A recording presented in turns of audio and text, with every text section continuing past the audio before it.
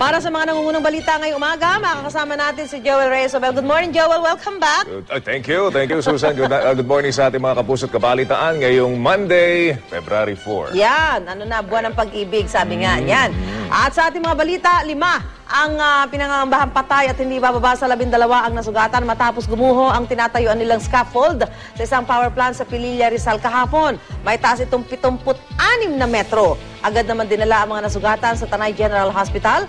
Wala naman nagtamo ng malalang sugat sa kanila. Kwento ng mga trabahador, naglilinis sila ng smoke tank nang biglang gumuho ang scaffold.